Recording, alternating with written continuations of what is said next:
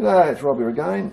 Uh, today we're going to look at how you can reduce the thickness of small items like, say, Woodruff key. You want to get a Woodruff key that's uh, the right width. I mean, uh, I keep all my old Woodruff keys, I've got stacks of them, and uh, quite often you have to get one uh, reduced to make it fit. Uh, it might be too wide, or you have to make up your own Woodruff key, which you can do. Um, it's not that difficult. They come in all shapes and sizes.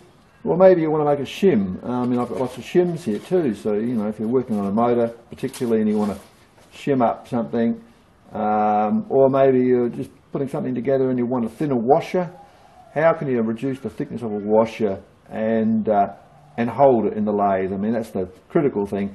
How do you actually hold something like that, uh, or that, or that, or, you know, or even that?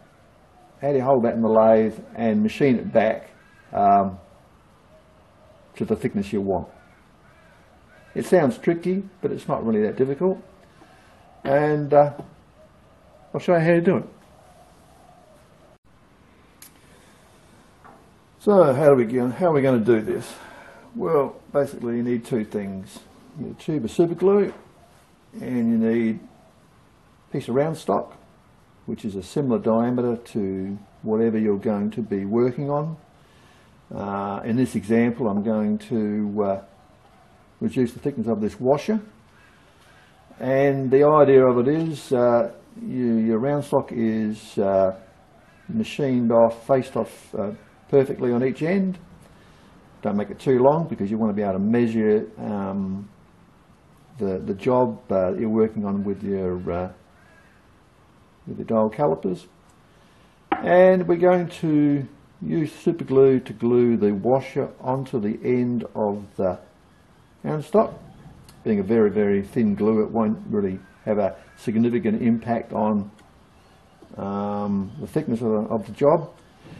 And once the, uh, the super glue is hardened, we're going to then mount the round stock in the jaws of the vise. And we're going to then machine back the, uh, or face off, the, uh, the washer in this case to the correct thickness. Now if it was, uh, um, if it was a, a, Woodruff key on there, and you can actually make a Woodruff key using this method by doing a round stock and then slicing it and then uh, grinding your, uh, your Woodruff key back. But if it was a Woodruff key, you'd, you'd be grinding that back for sure. You can't uh, machine a Woodruff key. I mean, this glue is strong, but it's not strong enough that you could use carbide on it. Uh, it would tear it off. So you would have to use uh, a, a, little tool post grinder or even air die grinder uh, if you haven't got a tool post grinder and put a bit of water on it occasionally, keep it cool, and uh, you would grind that back. In this case, we're going to use, um, I'm not going to stuff up one of my good Woodruff keys for this, but I'll just use a washer, and we'll reduce this washer back, and, uh, and I'll do it with my little air die grinder just to show you how good these little air die grinders are and how accurate they can get stuff. Um, but you would actually be able to face that off with a, uh, a high-speed steel a fine, a small high-speed steel um, cutter if you took it very gently.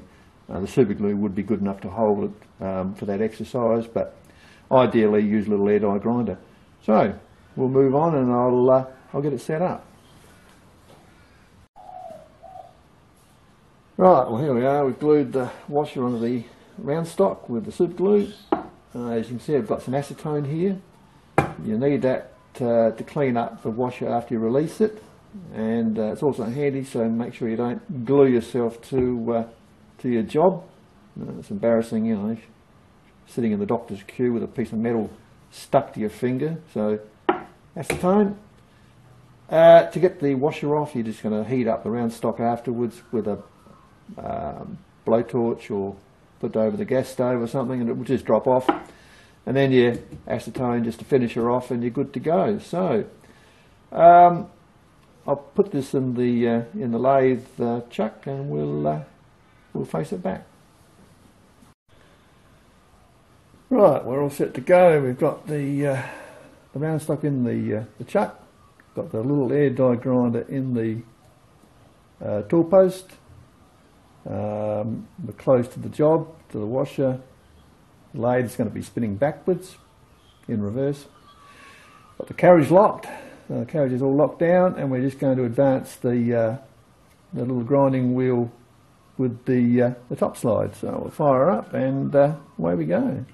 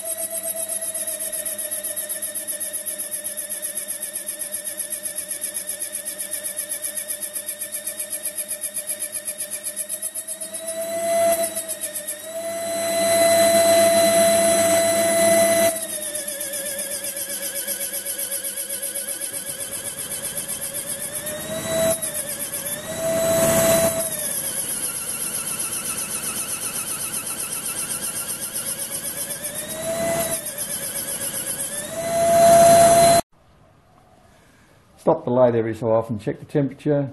Uh, being such a small grindstone, I think, don't think it's going to get hot enough to uh, cause any problem. And uh, in this case, okay, so we'll start it up again and we'll do some more.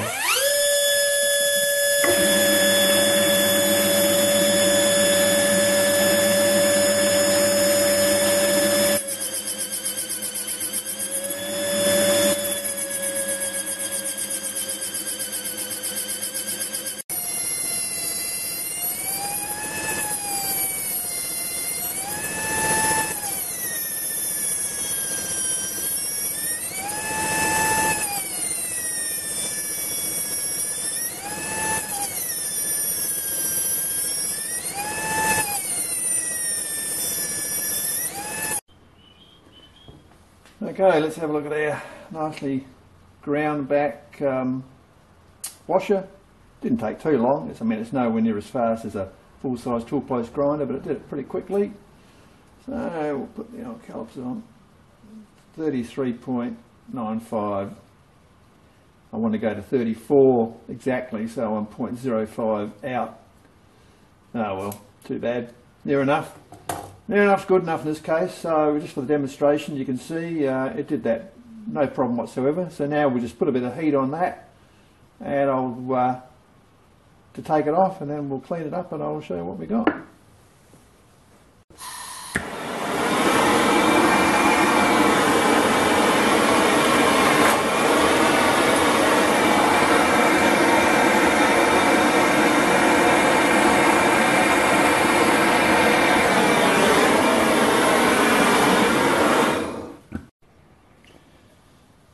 Okay, well, here's the finished article, and uh, a little bit of heat blowing from where I released it from the uh, the stock, but on the other side I've wire buffed it on the wire buff and it's come up perfectly. It's only surface bluing, so that's nothing. So uh, you can see how thin it is.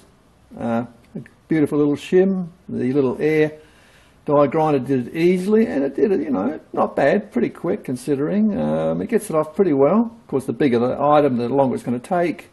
You can't expect it to be as anywhere near as quick as a proper tool post grinder. Uh, I mean, I've got a full-sized wall down tool post grinder that I would normally use for a job like this, but I thought, well, I'll just demonstrate how well it works, and it works great. So, I mean, that's just uh, washer material, you know, medium carbon steel, but you can, as you can imagine, you could reduce a, uh, a Woodruff key with it, no problem at all, being a grindstone, and uh, I didn't have to cool it down. The heat didn't, uh, it didn't get hot enough to worry it, so uh, going slow has that advantage. And if you're looking at my uh, bench top, you can see, once again, the old toilet paper. Handy to uh, wash off stuff with a bit of acetone, so that was my good tip a little while back. And uh, so there you go, folks. Easy way to reduce stuff. Uh, all you need is a little air die grinder like I've got, mount it in your tool post. Piece of cake, cost you 30 bucks to set up. And you're good to go. Um, you could do this with high-speed steel, but you have to go very, very gently. And there's no way you could do a, a Woodruff key or anything like that you, without a little grinder. So yeah, get yourself one of those little air die grinders. They're the greatest thing since sliced bread, and uh, you can do jobs like that. Okay, see you next time.